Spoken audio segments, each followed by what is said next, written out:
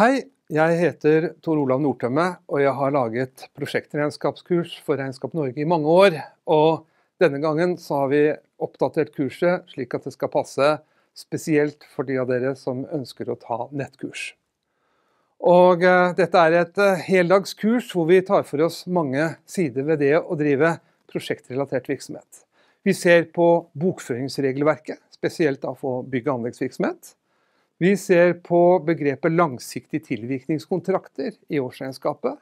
Vi ser på skattemessige forhold eh, når man bruker ulike prinsipper, eh, regnskapsmessig og skattemessig, for ikke-avsluttede prosjekter. Og jeg skal snakke mye om prosjektregnskaper som verktøy i økonomi- og virksomhetsstyringen.